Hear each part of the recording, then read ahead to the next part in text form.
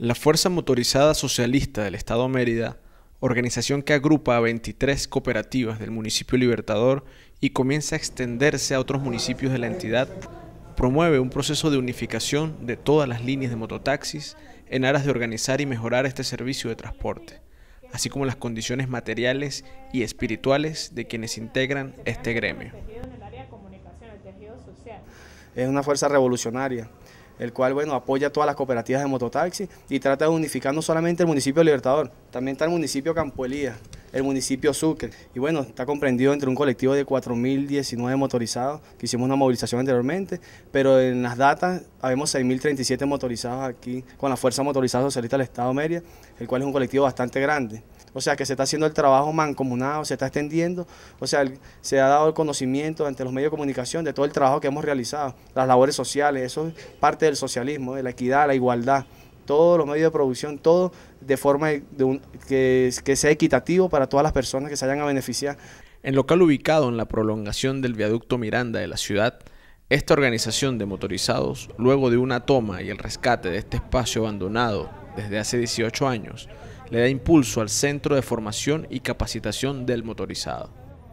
Y nosotros tomamos este espacio para crear el Centro de Formación y Capacitación al Motorizado, nunca antes visto en Venezuela y nunca antes se ha organizado esa, esa visión o ese nombre para darle conciencia a los motorizados, educarlos, en, capacitarlos en educación vial, primeros auxilios, manejo de emergencia y bueno, hay diferentes áreas que las cuales nosotros vamos a hacer uso del Centro de Formación y Capacitación al Motorizado. Por ejemplo, aquí en esta sede también se me había escapado, también funciona la brigada prehospitalaria, que brinda atención prehospitalaria y también nos va a capacitar en materia de, atención prehospitalaria.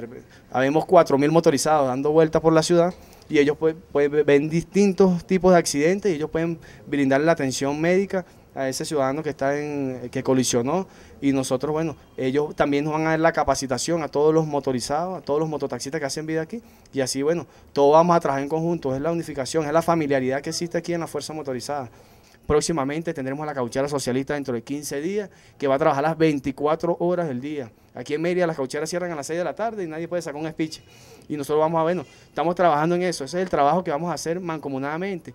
Esta sede también va a ser una, una recepción de denuncias. A veces hay algunos mototaxistas, uno como coordinador de una cooperativa, este, tiene el voto de confianza en su asociado, que está trabajando tranquilamente, pero hay muchas personas que se desvían de, ese, de esa situación, de, se desvían de la confianza que a veces uno brinda y cometen a veces imprudencia. Nosotros estamos aquí para organizarnos, para trabajar en eso y aquí todo el colectivo merideño puede venir aquí a estas instalaciones, presentar su denuncia a veces a una persona si tuvo una infracción y nosotros, bueno, trabajamos porque estamos trabajando organizadamente. ¿Qué hacemos también? Nos hablabas de las tarifas.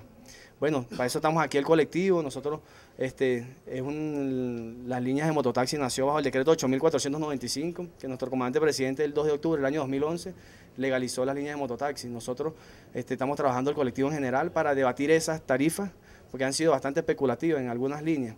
Pero bajo la fuerza motorizada, bajo todo este colectivo, unificando criterios, siempre se va a llegar a una conclusión para el bienestar social de toda la comunidad aquí de la entidad merideña. Y vamos a darle una buena tarifa y prestarle un buen servicio.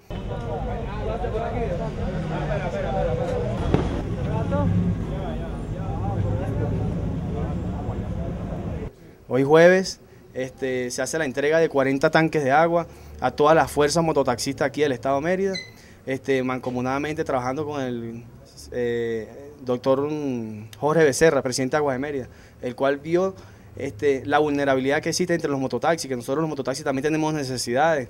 Nosotros, bueno, somos padres de familia, pero también hay necesidades en muchas casas. Por ejemplo, aquí tenemos dos señores mayores de edad. Nosotros vemos las labores sociales, estamos haciendo labores sociales como cooperativa, lo estipula la ley especial de cooperativa. Y ese es el trabajo que está haciendo todas las líneas de mototaxi.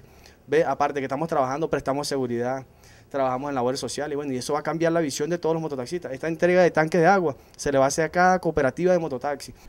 Por otro lado, los motorizados que prestan este servicio de transporte asumen conscientemente la necesidad de organizarse para transformar la percepción, muchas veces satanizada, que la ciudadanía tiene en torno al gremio. No le decimos a la colectividad en general que no somos ningunos delincuentes, somos padres de familia que estamos llevando el sustento cada día para la casa. Estamos tratando de trabajar organizadamente, de ver las vulnerabilidades que existen entre todos los colectivos mototaxistas y bueno, entre nosotros, entre este compendio de ideas que tenemos cada coordinador de cada cooperativa, esa voz, ese voto que ellos tienen de confianza con nosotros, se va a mencionar cuáles son las debilidades y nosotros vamos a fortalecer eso, trabajamos en eso cada día para cambiar esa visión.